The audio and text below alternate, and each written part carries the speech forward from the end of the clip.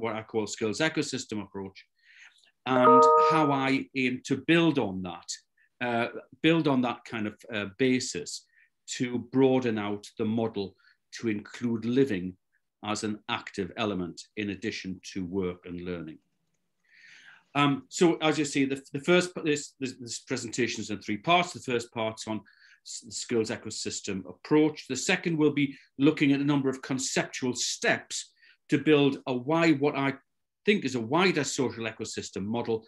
And the third part is more speculative and looking at a social ecosystem model in terms of transitions, particularly green transitions to a more sustainable world.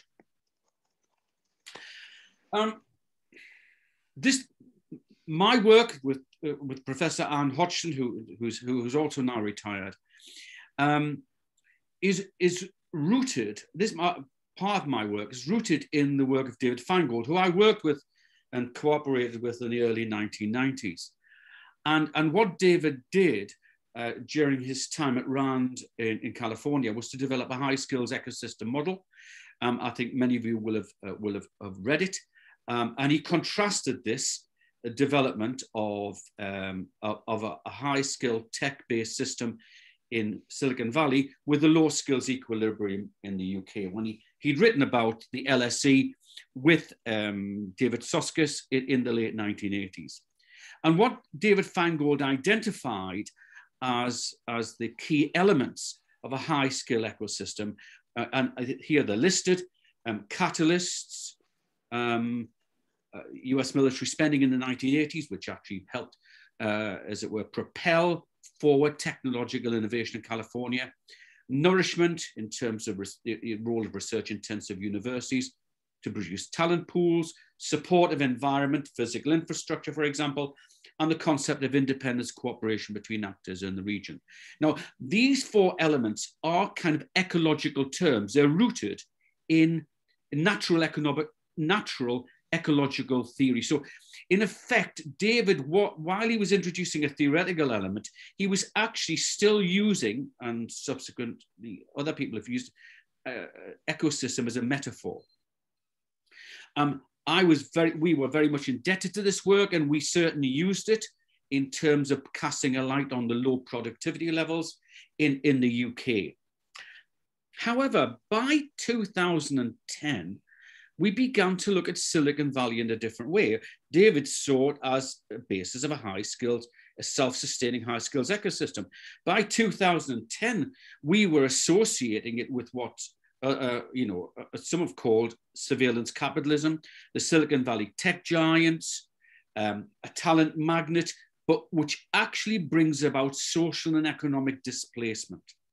And this brings, this brings me to the, the, one of the core issues that I'm researching, and that is, and looking at London and the, the effect of fintech, the financial technical technological sector, the looking at the phenomenon of very uh, of entrepreneurial ecosystems, which actually, while very economically dynamic and produce and wealth producing, actually bring about social displacement.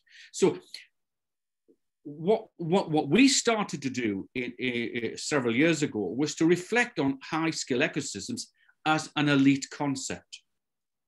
It, it, wasn't, it wasn't neutral anymore. It, we'd, seen, we'd seen two or three decades of development and some of the positives and a lot of the negatives that are associated with that particular form of financial technological development.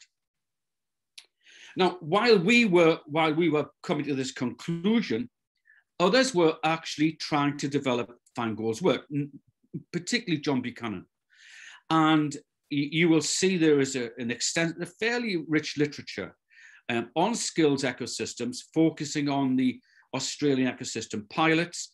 And, he, and here, the concept of vet skills is placed in a much set of wide, uh, a set, uh, wider settings uh, of the enterprise and its relationship with business settings, with policy frameworks, with modes of engaging labour, the structure of jobs and work design, and the types of skill formation being seen. Now, what what I think skills ecosystem provides us with, and here we look at some of the strengths and weaknesses, it, it certainly moves beyond the orthodoxy of skill supply, that somehow what employers need is an appropriate supply of skill. And what skills ecosystems concept was doing, and, and it certainly echoes in the work of, of Ewart Keep and others, was to think of skills as skills development as part of a more holistic system, uh, not only, as it were, linked to skill supply, but skill demand. And, and I think it's what skills ecosystems were looking at, was a series of factors that will result in the raising of the systematic demand for higher level skills and innovation and development within companies linked to vet systems.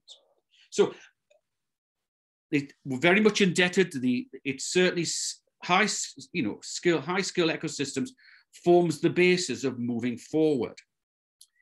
But unlike Buchanan, we, our reflections on Silicon Valley and their spatial effects led to possibly a more, a sharper critique actually of some of the limitations of HSEs. I mean, I've mentioned their, their, their, social, their social ecological effects, and we'll, I, will come to more of that in a minute. But we also have to look at what happened to the skills ecosystems pilots in Australia and their, their kind of destination was found in the 2017 article by uh, John Buchanan and colleagues, in which he, you know, looks at how, uh, in a sense, they, they, were, they didn't take off because those companies found ways of developing skills, what we call neo, what he called neoliberal skills settlements, uh, that did not involve the kind of commitments to the dialogue and partnership in the wider system that is required by skills ecosystems. Nor did, in fact, Buchanan and colleagues actually critique, sufficiently critique, the HSE settlement that David Finegold, uh, in a sense, was talking about in his 1999 work. Therefore, my, one of my conclusions was that while skills ecosystems are an extremely valuable concept and will come to see them as located within much wider social ecosystem model. His work and the work since hasn't really conceptualized the conditions for its own extension. And therefore, what I'm proposing here is an indebtedness on the one hand to the skills ecosystem approach, but wanting to locate it and skills development within a much wider set of social factors. And this is where we come to the, uh, the concept of a social ecosystem model. And that's what I'm going to do now. So in, it, I just want to make it absolutely clear that in critiquing some of the limitations of skills ecosystems, I'm not wanting to deny their usefulness or their centrality, but rather to place them within a wider ecosystem still. So what what we've been talking about, and this this originates well, it's propelled forward by our work in East London, particularly in the London borough of Barking and Dagenham, and here you have a, a borough that is go a good distance from the city of London, about ten miles, and what had happened in the previous two decades, two or three decades, is that the city of London had developed people were displaced, they had to move out, there was waves of gentrification. And in Barking and Dagenham, we were sufficient from uh, the, cent- the monocenter of what we'll call the urban supernova to think about how people could both work, live and learn in the same area, that they weren't going to be displaced and therefore, as it were, dependent then on what we call the commute into the, as it were, the urban supernova. So we were adding to the skills ecosystem concept, the concept of living. Therefore, it's working, living, and learning. That becomes the nexus on which we start to think about a wider ecosystem dynamic. As, as we've seen, this is also based on a critique of the Silicon Valley model, and I'll go through that thought experiment in a, middle, in, in a minute. So the concept of, of learning within a social ecosystem becomes related to good work. That's the, that's the skills ecosystem part and sustainable living. I mean, if you don't have sustainable living, then it's very difficult to actually for, for local authorities and regional authorities to develop inclusive economic and social growth. And inclusive economic and social growth and sustainable growth is the central problematic of a social ecosystem model, whereas vet skills was a central problematic of a skills ecosystem model. I'm, I'm suggesting that the skills ecosystem is nested inside this wider, this triple nexus. Now, as we were reflecting on what had happened to Silicon Valley, um, our work really went through a thought experiment. I mean, one or two critics have called it wishful thinking. But I mean, what in, re in researching the theories behind, or some of the conceptions behind um, Silicon Valley, we came across uh, entrepreneurial ecosystem models coming out of business schools in particular. Interestingly, they, they talk about Silicon Valley, they talk about fintech districts in London and in other uh, metropolitan global centers, although they don't cite Finegold's work, which is interesting in itself. But what the critique of Silicon Valley and its what we call elite ecosystem entrepreneur ecosystem approach, it gave rise to a set of opposites. This is the thought experiment. So here we have eight dimensions. We have mission and function, moving from private to public. The horizontal terrain, this is very important for us. Interestingly, elite entrepreneurial ecosystems do exploit places, you know, either places to work or places to live, so that they become attractive to the talents pool. Whereas when we were working in Barking and Dagenham, we wanted to reshape the place because it was, it was not attractive in that traditional sense. It had to build its, in, in a sense, its, habit, its habitable, sustainable living capacity. The way that, that people thought about uh, entrepreneurial ecosystems were, in a sense, retrospective. They looked at what had happened and tried to provide explanations. Whereas our argument was that social ecosystems didn't exist yet. Elements of them existed. And therefore, what we were engaged with wasn't just retrospective understanding, but prospective theorizing. And here we come to the issue of whether, in fact, ecosystem thinking was largely metaphorical or actually had some theoretical elements. And I'll come back to that point later. Uh, critical were the type of institutions um, and organizations involved in either these elite entrepreneur ecosystems or the inclusive social ecosystem model. Uh, clearly, we're seeking a movement from simply privatized civil society networks to a more public private mix. And also, the economy tends to, to differ. It's clearly the economy uh, is niche, it's fintech, high skill levels, Whereas social ecosystems, and by the way, skills ecosystem model under Buchanan recognize this, is far more diverse, traditional, digital, and foundational. Also important for us was the type of educational participation. Um, entrepreneur ecosystems, overwhelmingly research intensive university focused, looking for the talent pool, whereas the social ecosystems, because they're catering for a much more diverse range of skills, including a foundational economy, are more likely to see partnerships not only with the universities, but further education colleges, independent learning providers, uh, and critically, local authorities and regional authorities. And here we, we again we were looking at other dimensions, the workforce and community participation. Within skills ecosystems and certainly within the entrepreneurial ecosystem model, there is greater em employee participation in flatter companies. Um, this idea of a teal type participatory organization is one of the most advanced expressions of this, whereas we were looking also at community work and democratic participation. And finally, there was a different concept of time involved. Entrepreneurial ecosystem models had, understandably, time-bound cycles of a decay and regeneration. In fact, it, the, the idea of an entrepreneurial ecosystem would arise out of the decay of the existing formation through spin-off companies and what have you, in order to produce the next, as it were, cycle of growth. Whereas in terms of social ecosystems, we were much more interested in long-term project for social ecosystem building and construction, rather than, in fact, the, uh, as it were, generation decay regeneration cycle.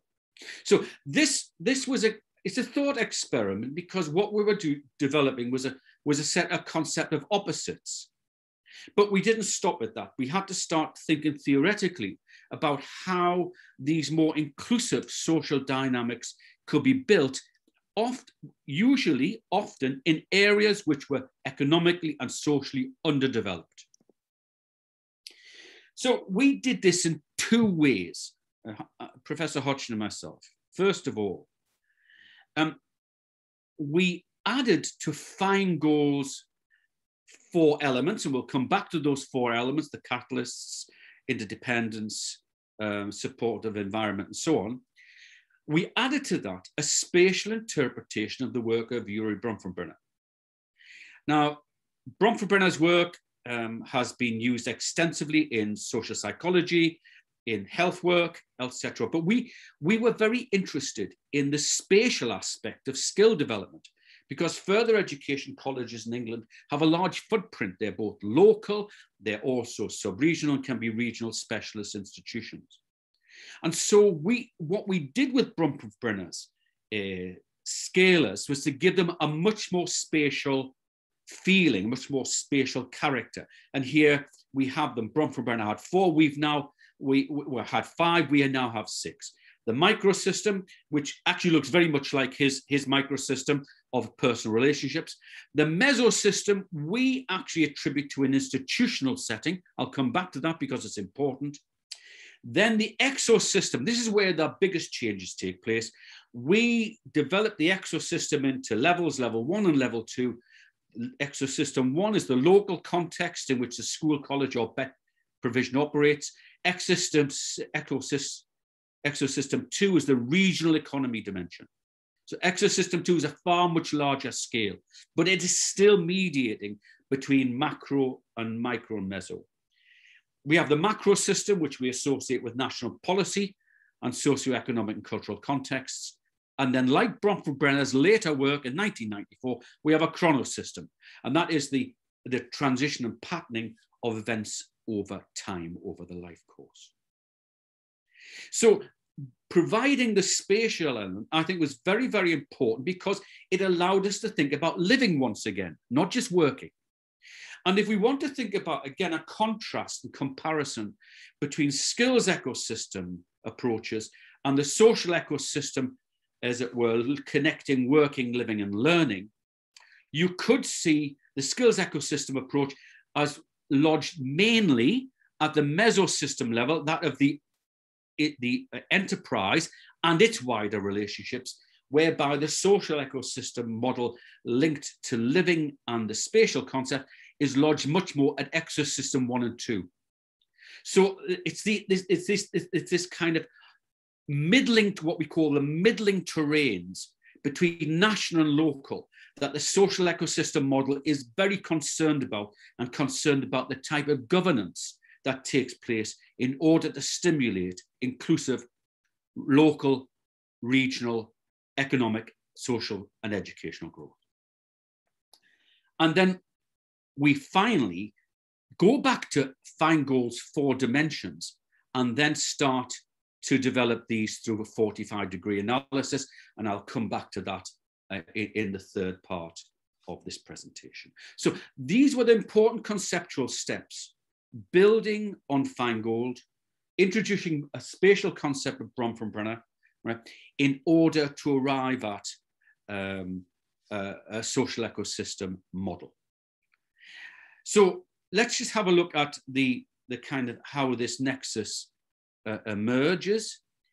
So we, we have the research in the London context, and we're particularly interested in how to overcome the development of urban supernova. So the social ecosystem model is not located at the level of the enterprise. We, we leave that in effect to the skills ecosystem model. The social ecosystem model is at a, a higher on a, on a higher scale and is interested in, in a sense, how people live and move in relation to work. And obviously very critical of what we call supernova developments, where everybody just piles into the center, having the inevitable long commute.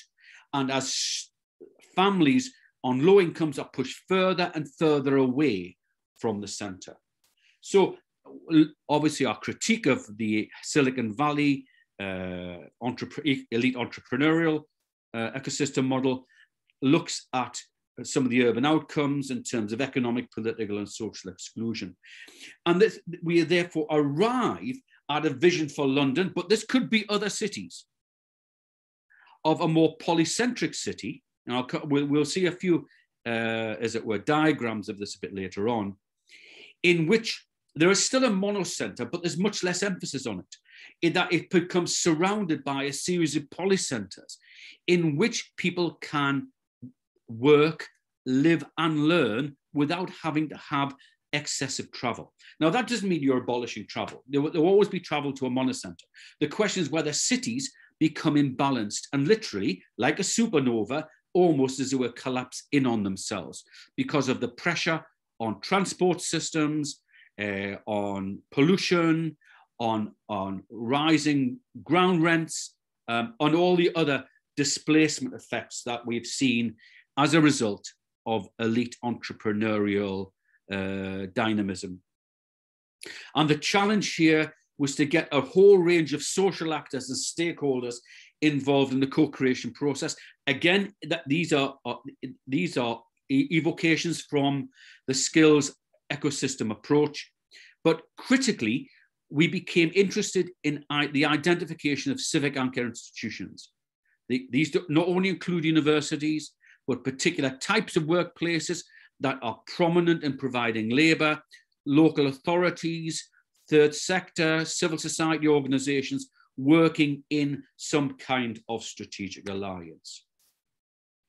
Before I go on to a definition, here's, here's a diagram um, of, of the supernova and, poly, and polycentric approaches.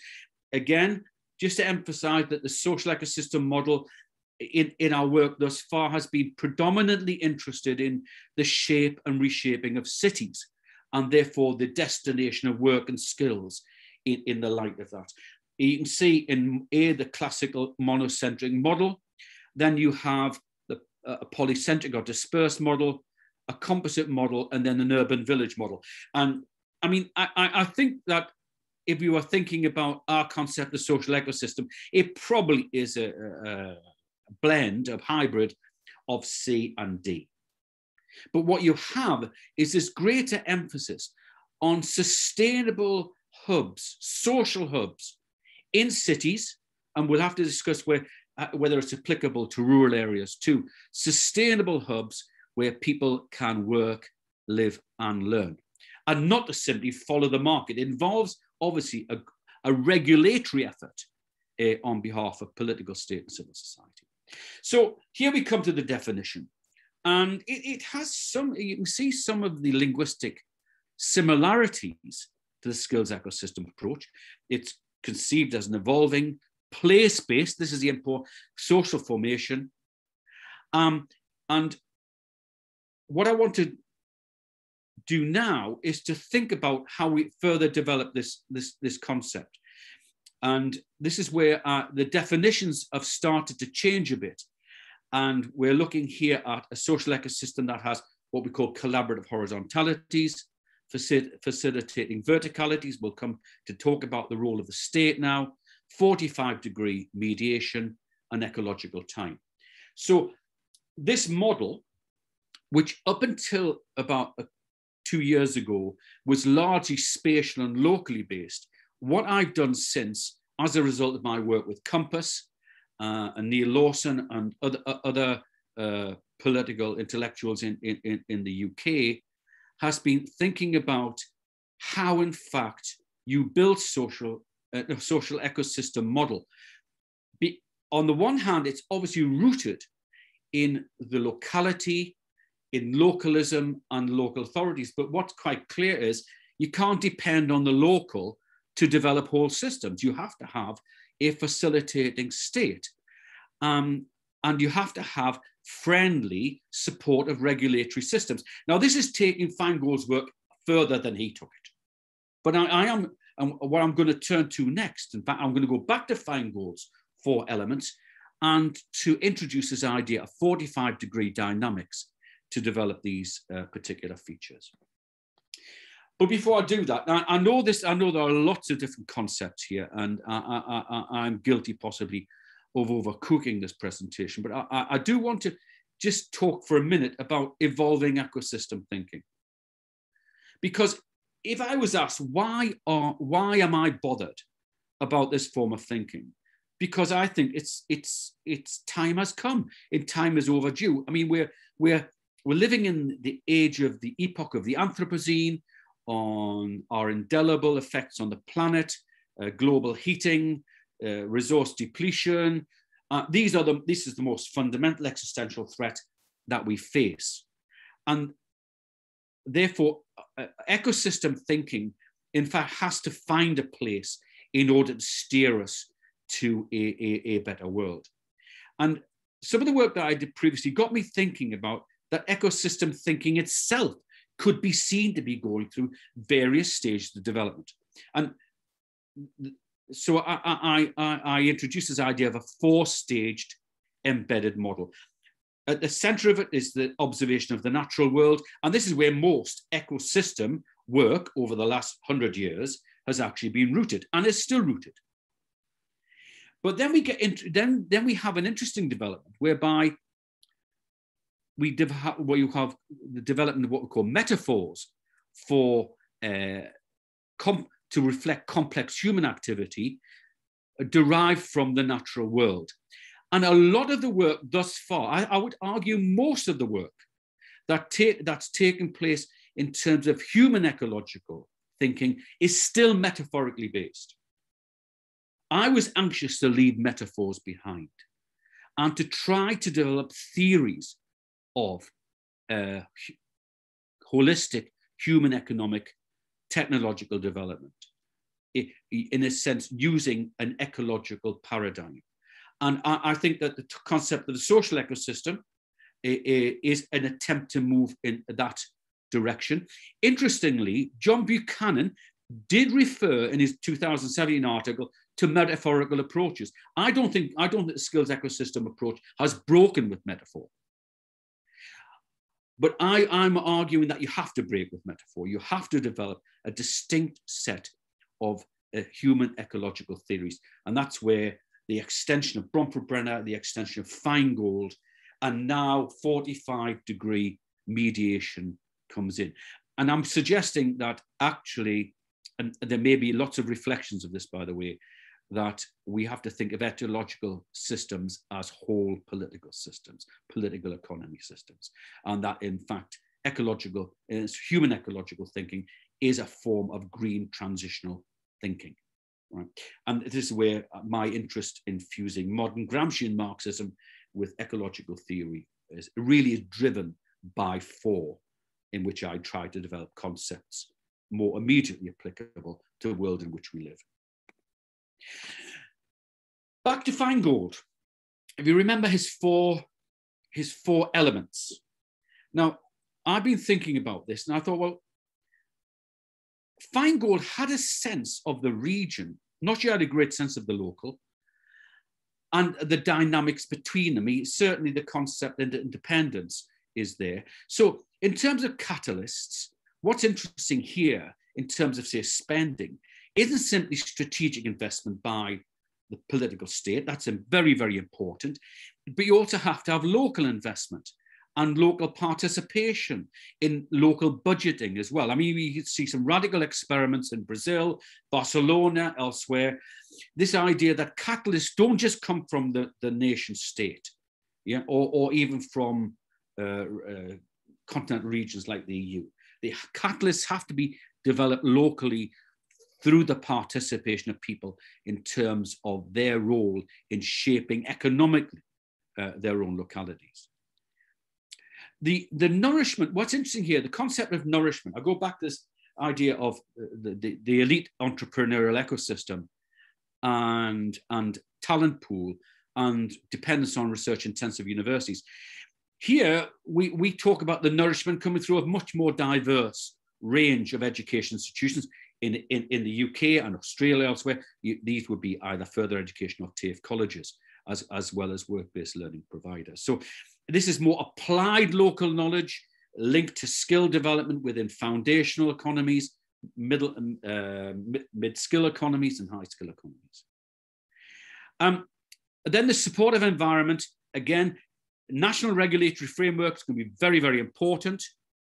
Um, this would certainly provide the, the, framework in which companies would, th th there would be some level of compulsion really in, in, in these regulatory systems to uh, around wage, uh, wage offers, uh, uh, as, as well as health and safety uh, um, and, and maybe other regulatory and so certainly the sustainability programs. But at the same time, that we need the idea of social ecosystems was to develop local and regional infrastructures. And what's interesting about East End is moving of the film studios to Barking and Dagenham. Some of the London markets are moving out there. There's the real possibility of having this more polycentric, economically polycentric London than everything just being, as it were, in an overheated uh. And then this idea of interdependence is joined up national governance linked to local collaborative networks. I want to finish now by arguing, and this is a very speculative point, but it's an, an issue that interests me deeply. What kind of thinking do we need in order to develop these holistic systems of change? Now, within the Marxist tradition, there has been talk of the concept of the general intellect, which has been deeply uh, connected to technological developments. I, I want to move away from that. Uh, coming from a Gramscian tradition, um, I, have been thinking about what I call the organic intellect. And to put, to put it simply, to keep us within time, the organic intellect is in fact the fusion, the fusion of general social shared thinking theories of the world. I mean, these are conceptions of the world of change, but they're ones that are shared amongst the people, and forms of specialism, connective specialism. The fact of the matter is, you cannot have sustainable change without specialists. But the question is whether the specialists are, in fact, a, a distinct, detached class, a traditional intellectual, or whether they're rooted in the social changes and in the, the shared thinking of the mass of the people. And therefore, this idea of the organic intellect, now we Gramsci talked about organic intellectuals, I'm talking here about the organic intellect. The organic intellect is this fusion of connective specialist thinking and the general intellect defined as advanced shared social knowledge. Now, what that means is is that we have to have people on the ground working in local government, activists, who also can draw on the specialists and themselves become more specialized. But having the specialists who do not detach themselves into a university, but think of themselves as part of a, a wider social alliance in which the, the propulsion of knowledge, 40, what I call 45 degree combination of knowledge, is the result of the fusion of new forms of scientific discovery with new forms of social and ecological discovery. So what I'm suggesting here is that the social ecosystem model is, going, will have to be based on new concepts, more integral, uh, dialogistic concepts of knowledge that involve shifts in specialization as well as shifts in uh, general thinking. And uh, as an aside and, and, and as a, a departing point, um, you will know of the work of Michael Young. He's a close colleague of mine. And we had a debate in Beijing, the Capital Normal University, around the development of what I call 45 degree knowledge. And I actually would associate 45 degree knowledge with what Michael calls Futures 3. And I will leave it on that because I know of his connections, deep connections with South Africa. Thank you very much. Thank you very much, Ken.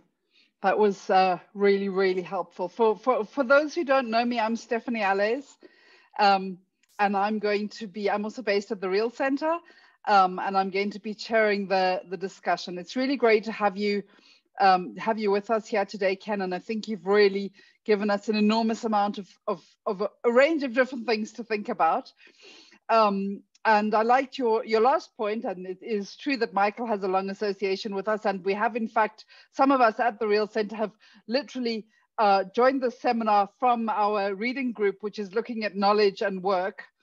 Um, so I think that your last uh, your last slide and your last set of points really raise very very interesting provocations from that perspective. I also think and and thanks Ruan from the Real Center for posting in the in the chat um, the point about um, district development model.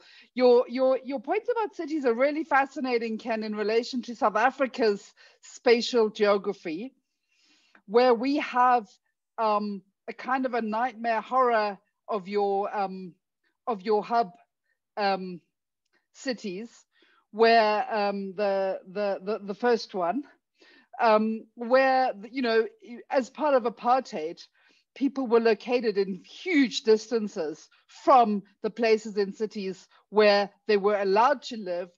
Uh, the, where they were allowed to live was a huge distance from where they were allowed to work. So it really, I think South Africa offers some really particular challenges for, for thinking about these ideas and, and, and hopefully these ideas offer some really interesting ways in which South Africa could start dealing with that, the, the, spatial legacy of apartheid, which is one of the many legacies of apartheid that has remained absolutely intractable. So I think I uh, just want to thank you so much, Ken, for the presentation. And we are now going to move to questions and discussions and comments. Um, Ruan and Taylor have already got going with a, a debate in the chat session. I would like to open up for um, anyone to raise a question, there's the Q&A function, um, but it's probably just easier to, to raise questions in the, um, in the chat. Um, but also, um, colleagues, please do feel free to raise your hand um, because we would love to have people actually speaking and asking their questions to Ken. We've got one question in the chat from um, Joanna so asking, is your thinking in the 45 degree element different to the idea of collaborative horizontalities? Well, um, it, while you're thinking about that, I just want to invite other colleagues to please um, add your questions in the chat or raise your hand with any questions that you have to Ken or any comments that you would like to make, um, issues that you would like to raise, points that you would like to uh, take issue with. Ken, we do have uh, John Buchanan in our seminar lineup.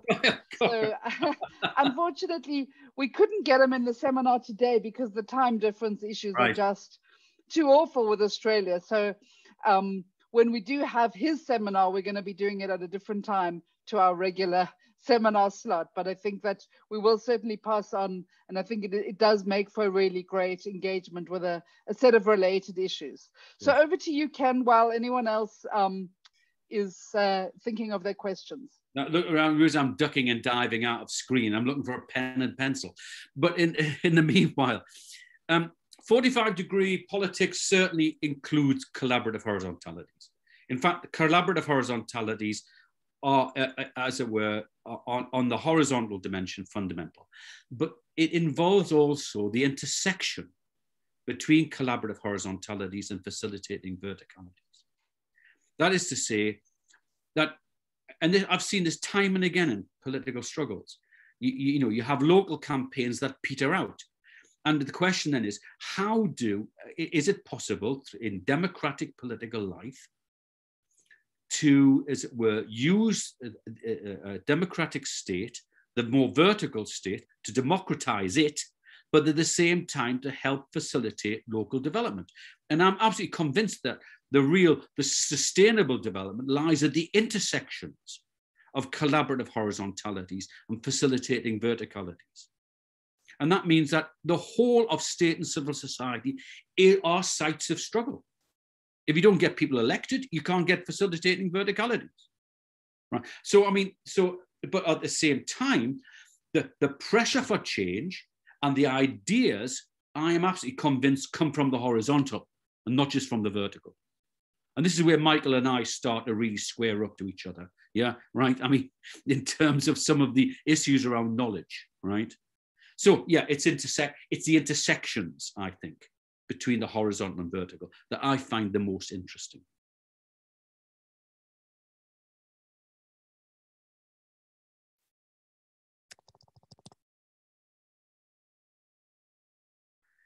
Uh, I've lost you, uh, Stephanie. Sorry, sorry about that. Yeah, yeah, yeah. Um, I put myself on mute because I had a little bit of light homeschooling going on in the background. it's challenging working where you live.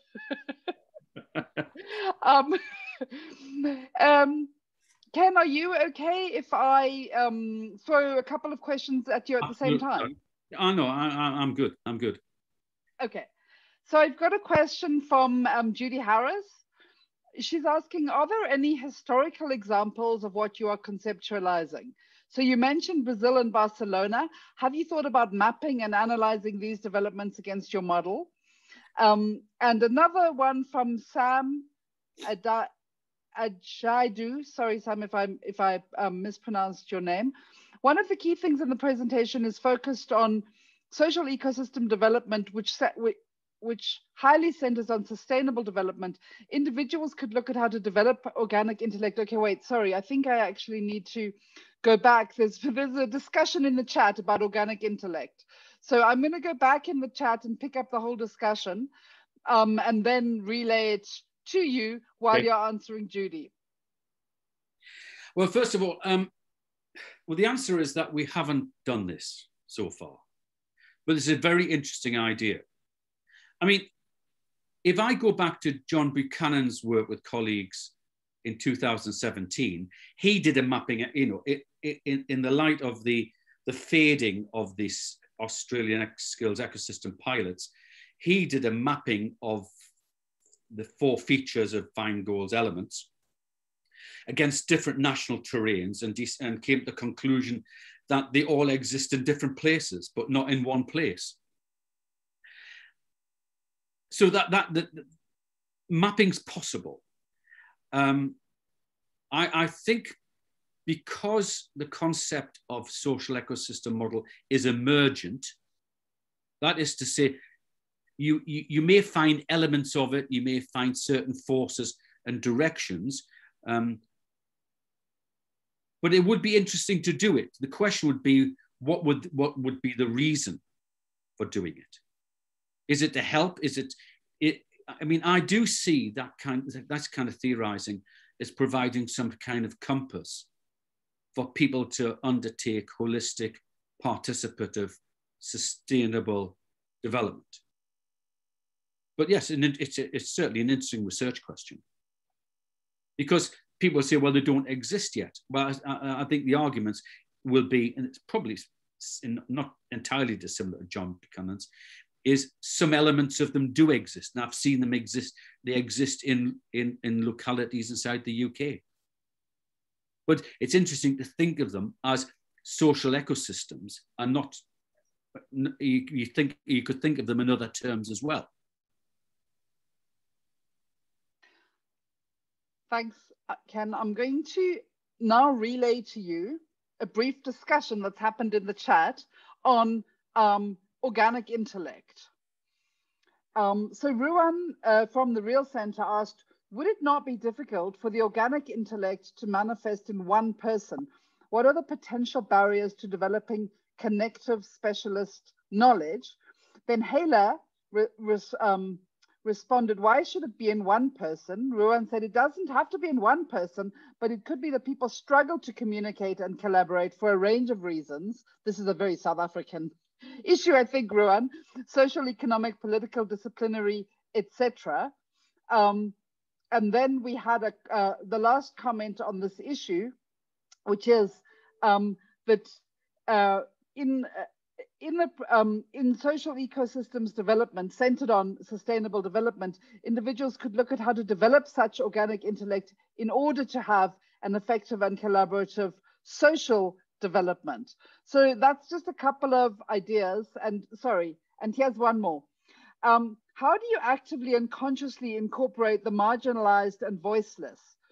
I'm thinking here of San Francisco, where Black, Latino, Japanese, and LGBTQI communities are being pushed out by elite and technical IT workers and executives. So those are a couple of issues in relation to your organic intellect point, and then I've got a few other points, but I'll I'll let you just um, come back on that one first. Um, I'm I'm in trying to answer that. Uh, let's just go to this particular slide. On the one hand, it is possible for the organic intellect to be developed in an individual. For example, and this would be a classical one, you could have a clinician, a doc, you know, a, doc, a highly skilled and qualified clinician who in fact understands the social roots of medicines, decides to work in particular uh, communities uh, and adopts a, a, wider social, socialist, ecological outlook. That person would have the, uh, but that person would may actually develop their, their medical connective specialization linked to their wider philosophical outlook. But as people, as you say, that so that's a possibility. It's a possibility on a, a whole number, a, a, whole number of fronts. But if you actually look at this diagram here, what and, and I have written about this elsewhere, and I'm interested in, in collaborating with others to think about it, is that the intersection between vertical and horizontal knowledge takes, you can conceive of it in a 45 degree arc of multiple combinations. There's not just one combination. It's not four, there's not one 45 degree line, that's a metaphor. So you could have people, and this comes back to the point about, about marginalized communities. Marginalized communities will participate through political struggle, through their self-organization, work, working with others. But then through that struggle, they have to develop specialist knowledge. If you think about a, a very different example, Greta Thunberg, Greta Thunberg start, you know, starts out as a, as a young person incredibly concerned about the world and prepared to take an individual heroic stance, but increasingly becomes specialist. You know, she, you know, she not only invokes the scientists, she probably has read back to front, yeah, what in fact they and had conversations with them about their their, their views about uh, global heating. So the point here is, is to see the, the development of the organic intellect not in one place. It's these multiple intersections of what I, you know, of dominant subordinate relationships. There are lots of other concepts, Stuart Hall's concepts of double shuffle I could introduce into all of this. Don't want to do that here because it's a different, another story. But the idea is that everybody is capable of systematic social shared thinking and everybody's capable of becoming more specialist. In that sense, it, it, it, it, it adheres to uh, uh, Gramsci's dictum yeah, about the potential to develop organic intellectuals in the masses. But what the, the point I'm stressing here is not is, is move away from the Marxist, one of the Marxist concepts of the general intellect purely as general thinking, and to develop the concept of organic intellect, which involves different degrees of specialist thinking. Because if we are going to alter the world, and particularly a, a, a, world of AI and machine learning, we're going to have to develop our own specialists who are on the side of, of, of, of, the people and not just on the side of tech companies, right? So there's a, but I agree, there's a massive set of issues in how to develop the organic intellect. And but and I also would take the point is that, uh, and it, it is a typical, it is a traditional Gramscian one, that the organic intellect would not simply be in the minds of one person or even the concept of the extended mind. It would also be a collective intellect. Thanks, Ken. I think it raises really fascinating questions about the what are the conditions of possibility for developing expertise. Um, but I've got a couple of other questions. One is, what are the historical reasons for the development of a monocentric model? Is there a degree of path dependency? Um, and another question is, does the transition towns model offer a good start? Um, yeah, I, I, mean, there has to be some path dependency, um, uh, simply because of, of, of the legacy of infrastructure and of existing work patterns. What's going to be quite interesting is to see how far the supernova is going to be affected by COVID, post-COVID. You know, people working from home more. Will, will, will we simply reverse the mass commute? There may, um, um, I don't think there will be, a, whether it's a seismic shift or a smaller shift, I think there'll be some shift.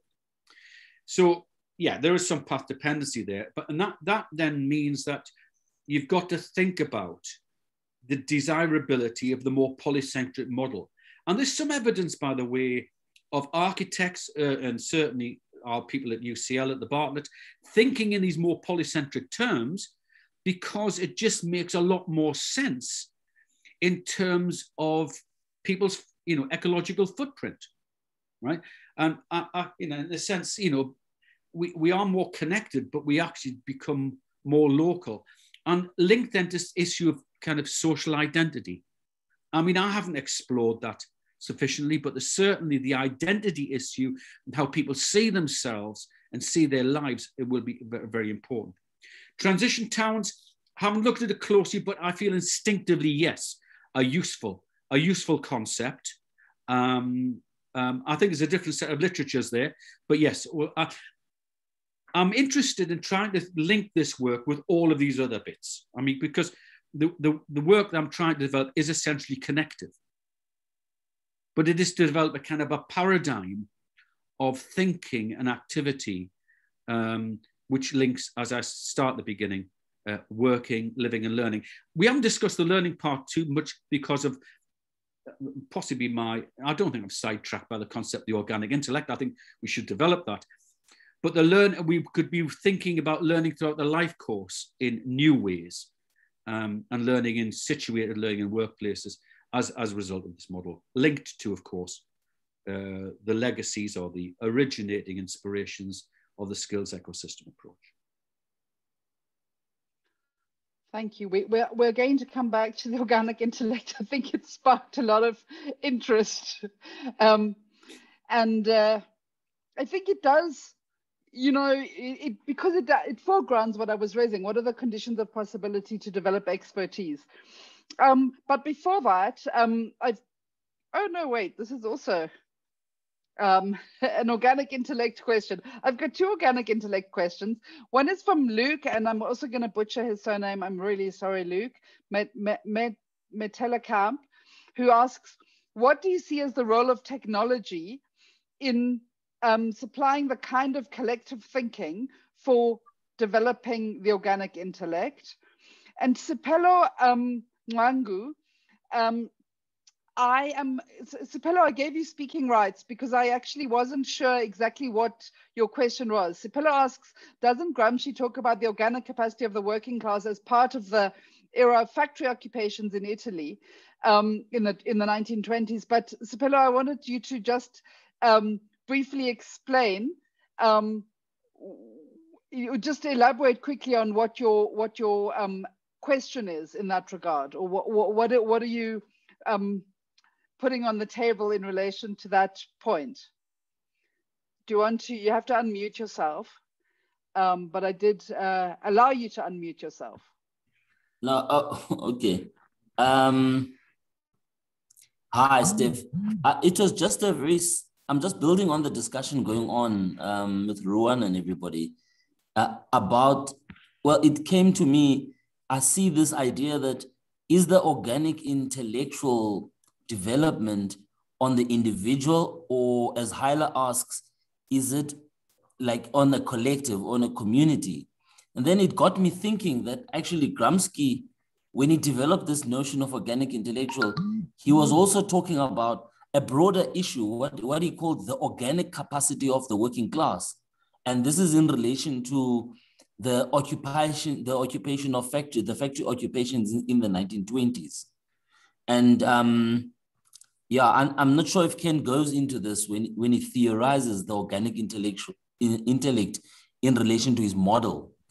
but but that that kind of building the organic capacity of the working class is where it comes out of is, is how it comes out of Gramsci. So yeah, that was what I was trying to relate. Well, I well first I'll, I'll, I'll address that one, and then I'll go back to the question about AI and technology. Um, yeah, the, my concept of the organic intellect is un, is absolutely rooted in the mainstream Gramscian tradition, um, because while you can think about individuals um, and you can think about expertise, um, I, I did talk about the, as it were, the organic intellect as a shared collective intellect. Now, that now, thus far, the idea of the shared collective intellect is associated with what Marx referred to as a general intellect. But I wanted to introduce into the concept the general intellect as a shared, as a shared political social capacity, the issue of expertise and of specialization, because it, because in a world in which you have increasing diversifications and hybridizations of specialization, and, and the role that it plays in uh, scientific, social, technological development, it's inconceivable to think of, as it were, the working class guiding its own future without the massive development of its, of its organic intellect, not just its, not just its political consciousness, but it's, its technological, social, uh, ex, you know, capacity. So I, I do I, I, I just think I'm rendering Gramsci's general thoughts about uh, developing a, a, a, progressive hegemony in terms which may be more fitting on, on, the 21st century. Remember, it is 100 years or more, yes, since he wrote these things. On the question of technology and AI, now I've written a paper on this, and it's an informal paper which is a, which I will make available uh, on, uh, it's, in, it's in collaboration with David Guile in which uh, I talk about the development of the organic intellect as a form of socialized uh, technological knowledge, and why, in fact, you need a social dimension, a so what we call the social shaping futures. And this is an argument against technological determinism. Um, uh, uh, uh, uh so that I will make that paper available. I'll, I'll yeah, I'll, well, it's actually on my website, but I, am given that I also exist in the 20th century, I'll email it to pressure, right? And, or you can make it available on your website. So yes, I, I, there's an entirely, there's a new type of debate to be had about the relationship between the organic intellect and the reshaping and socialization of AI and ML. Hmm. I mean, you can't put oh. this way. You can't if, if you want if you want to have a technological future that we control, you have to have a vision of what you want. What you can't have is, is, is to simply give into technologies and just say, well, they have a mind of their own and that's it, right? I mean, I've argued very strongly that um, the, the kind of AI we have at the moment is what we call narrow AI. It's not general AI. It, it it's not. It, it, doesn't have that capacity. It's not sentient in that sense. We have some time, as um, although that short that time is shortening, as it is with global heating. We have time in which to exercise controls over both our climatic conditions and our technological conditions. And I'd like to think that social ecosystem thinking would help us in terms of those upcoming struggles. Okay. Um, so I've got another, um, I've got two questions for you from the chat, and then I've um, uh, I've suggested Sylvia Hammond if you could ask your question yourself because I'm not sure if I've completely understood it correctly. So if you can, after I ask um, the two questions from the chat, could you just uh, please unmute yourself and ask your question, um, and then and then can you can answer all three. So the first question is what is the starting point of creating an inclusive social ecosystem? Shouldn't it be started by an entrepreneurial ecosystem? Maybe a 45 degree approach, but it seems combining two different paradigms would not work together. And the second question is, are we talking about social technical imaginaries? Derek, I don't know if maybe I should also um, give you uh, speaking, ma make you able to speak so that you can explain that because I don't know if maybe perhaps you want to explain it a little bit more than what there is in the chat. No, Derek doesn't want to. Um, so can I hand over to Sylvia to ask your question, please, Sylvia? Um, thank you, Stephanie. I think I've successfully um, unmuted myself. Um, yes, um, thank you. I was working from the basis of what are our problems, and we have unemployment, poverty, and inequality. So I was thinking about the ecosystem in this light, that we could, in fact, work to resolving those issues. We have an abundance of space albeit contentious land uh, issues, but we have an abundance of space.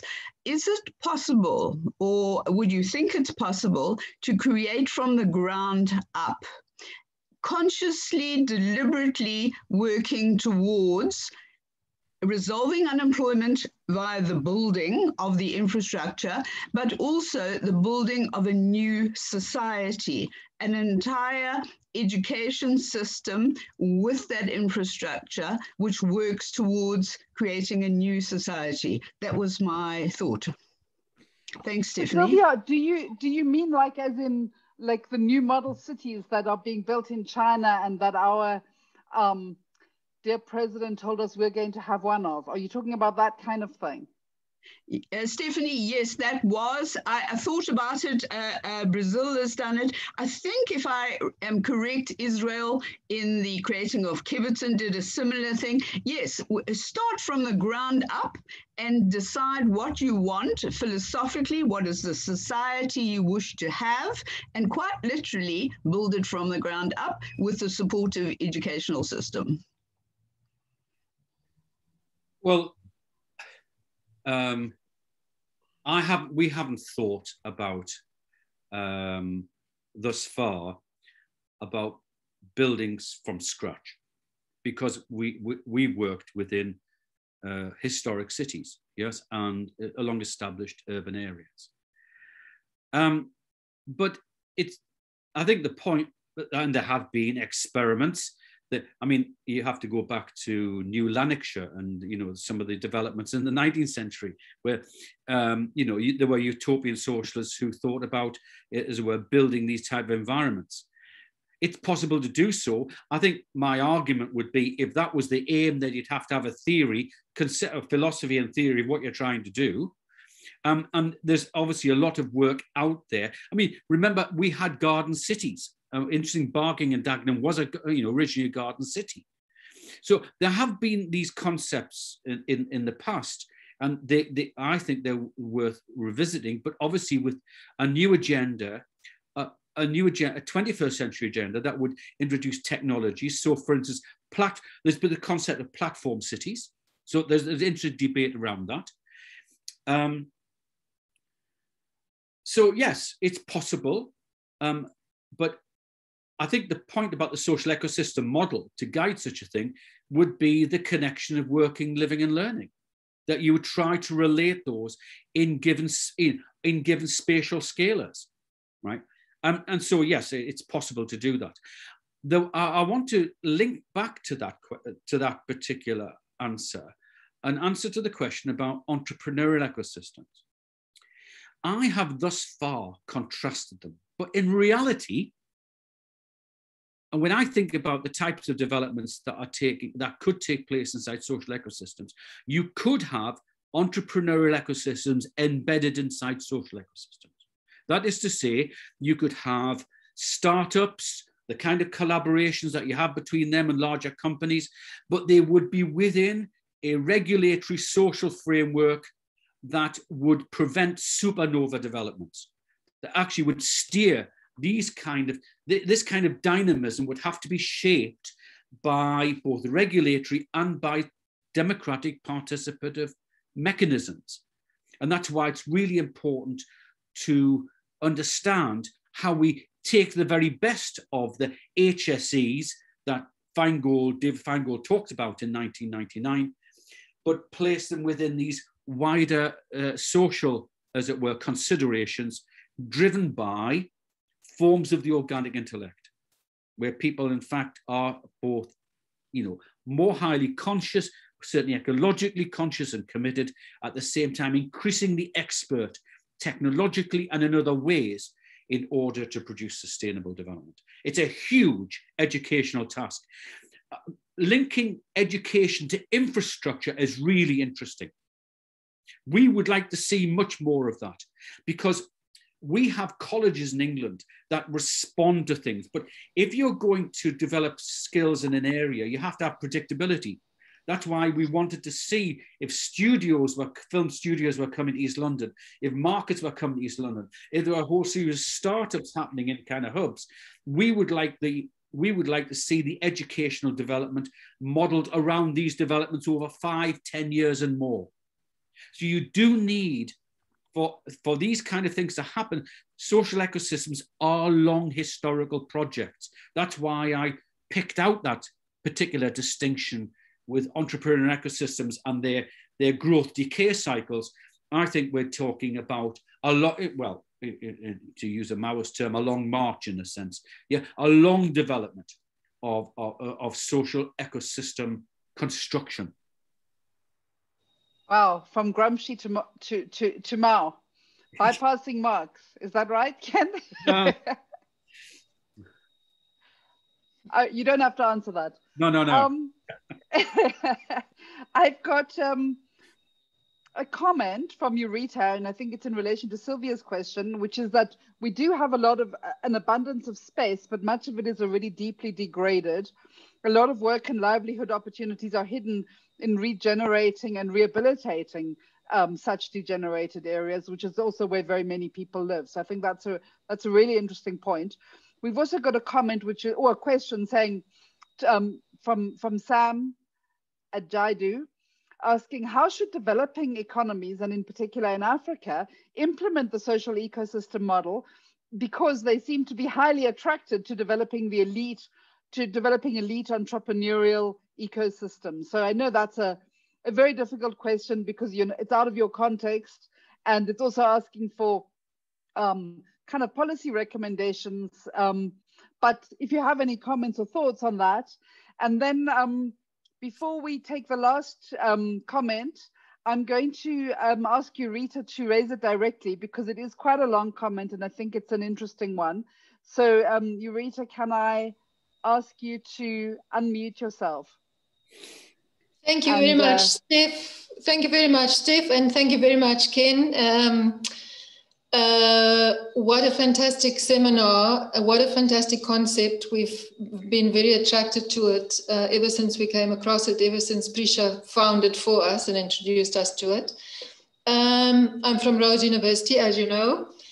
Um, my comment really is picking up from what uh, Sylvia's point, and and I I had the thought that this is actually a nice a demonstration of the difference between the elite ecosystem concept and the social economic e- ecological uh, ecosystem concept. Um, that um, the traditional way to to establish a sort of a skills hub, I would say, is is to start it from scratch and and to build up a new and and attract people to it but i i really think that the the the, the more um, socially oriented way certainly um, for degraded areas and for much of south africa would be to say look at what is there and to work from what is there where people are already living where people are already eking out an existence where industry has come and gone and left behind wastelands and unemployed people people were attracted by the possibility of work and then the work ends because it's not actually a sustainable form of development. I'm thinking of mining,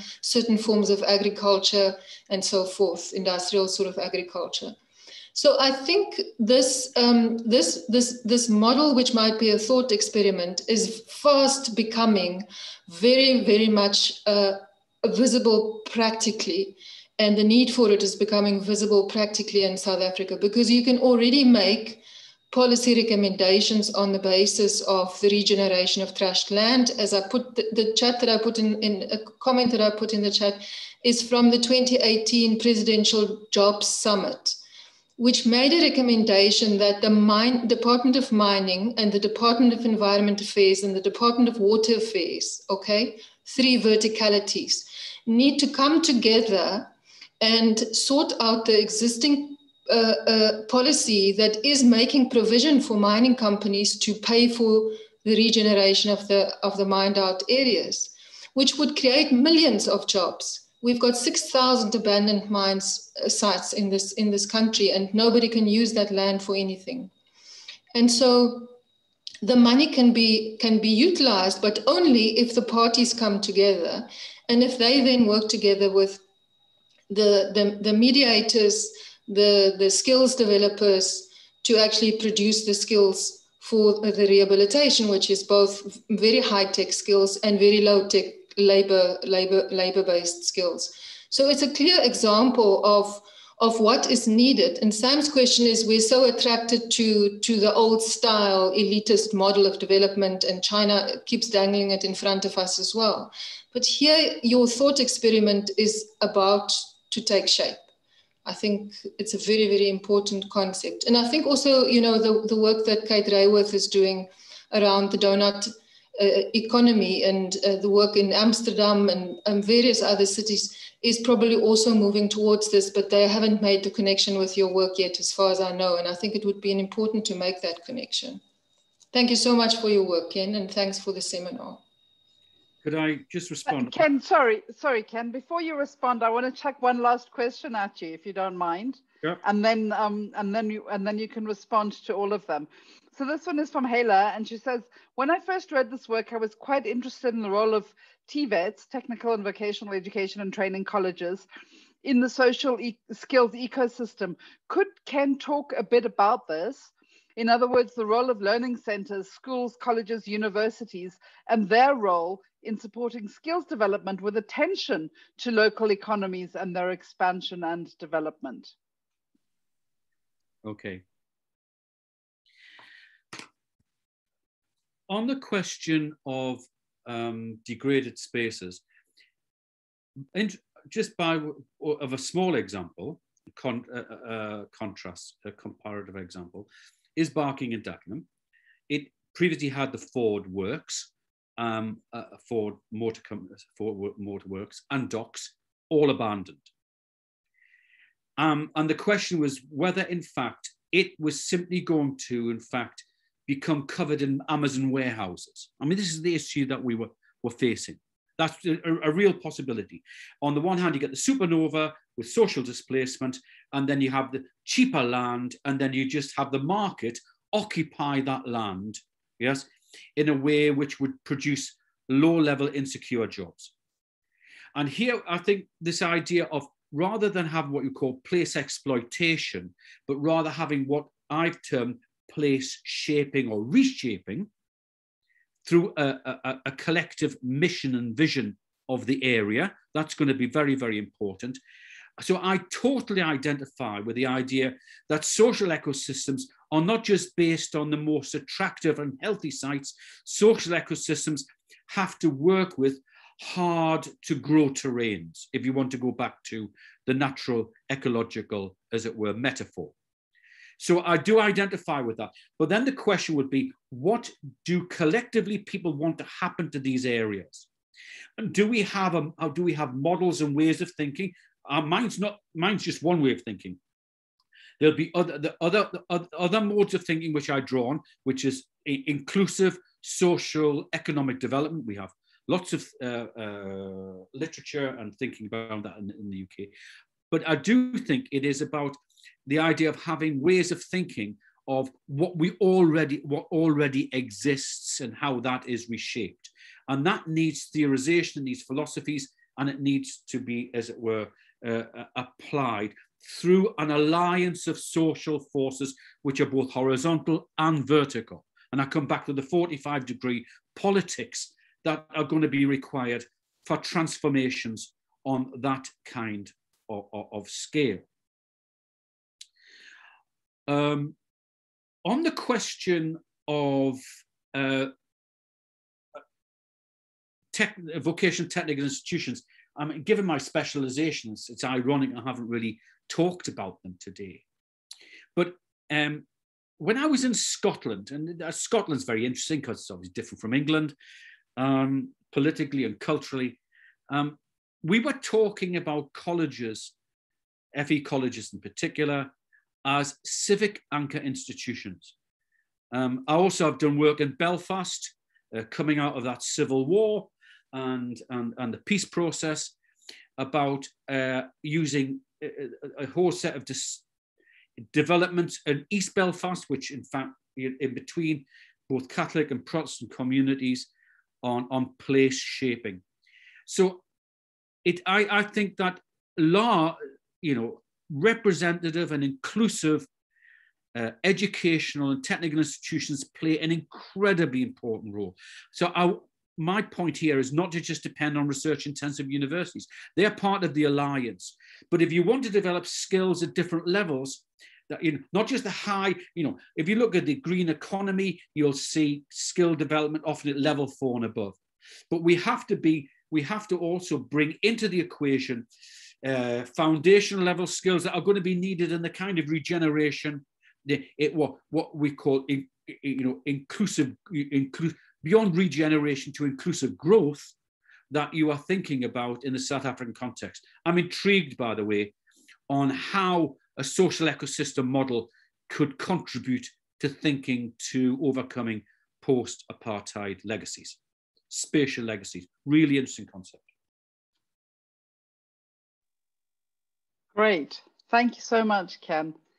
Um, I think we've still got the bulk of the um, participants with us. I think it's been a really, really interesting seminar. And I think um, you can see, Ken, that it's sparked interest on a whole range of different aspects of your work. Um, I think it's been really engaging and, and really useful and has left us all with um, an enormous number of different concepts and ideas to think about and utilize as we move forward. Um, so unless anyone else has a last burning point or unless Ken, you would like to um, say something, make a few last comments in closing, then I think we can we can move to start wrapping up. But but um, over to you, Ken, if you've got anything that you'd like to add. Well, this this is work in progress. I, have now fully retired from UCL, although I'm as busy as ever. Um, I would like to.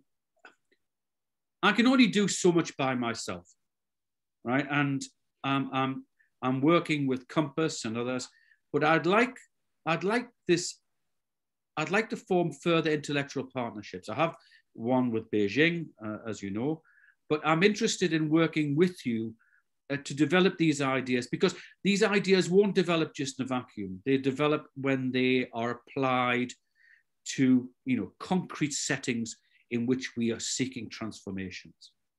And therefore, you know, I, I would hand, uh, reach out with the hand of collaboration to anybody who wants to work with me and to co-author, uh, uh, uh, you know, democratically to develop these ideas further, because I, I do believe that human uh, social ecological thinking has to be one has to be one of the great keys uh, to a sustainable, fairer future. I think that's that's a great note to end, Ken, because I think that you will see that there's a lot of interest at the Real Centre um, in developing these ideas, and also from our colleagues at Rhodes, who we work very closely with. Um, and so I think that uh, there would be an enormous amount of interest in, in taking this and moving forward with you in developing these ideas and, um, and thinking about how to um, put them into practice and continue theorizing them. So I think that that's a really wonderful note on which to end. Um, and I'd just like to once again really very warmly thank you, Ken, for giving us your time today, sharing your ideas so generously and with so much energy and enthusiasm. I think that um, it's really been a, a fantastic session. Um, Prisha, I don't know if you uh, need to say anything in closing.